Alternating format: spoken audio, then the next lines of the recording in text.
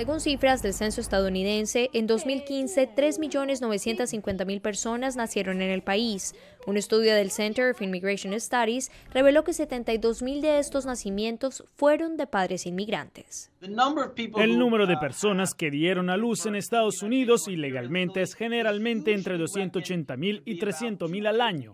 Esto se traduce en alrededor de 80.000 para visitantes temporales. Y la razón de por qué los inmigrantes ilegales tienen tantos más hijos que los visitantes temporales es que hay mucho más de ellos. Una evidencia anecdótica más que sistemática, dice Steve Camarota vía Skype, es muestra de que una gran parte de esta población tiene a sus bebés a costo de los contribuyentes, pues los gastos médicos no son cubiertos por los padres. Según los datos entregados, el 14% de los nacimientos de esta población son de padres que están legalmente en el país, el 7% de padres indocumentados y el 2% de padres con visa de turista.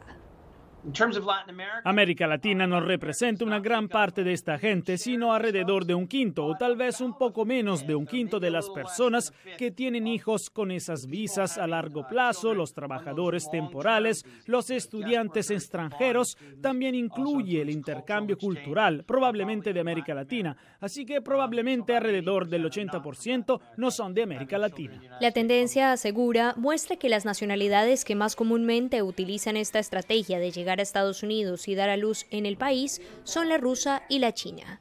Laura Sepúlveda, Voz de América, Nueva York.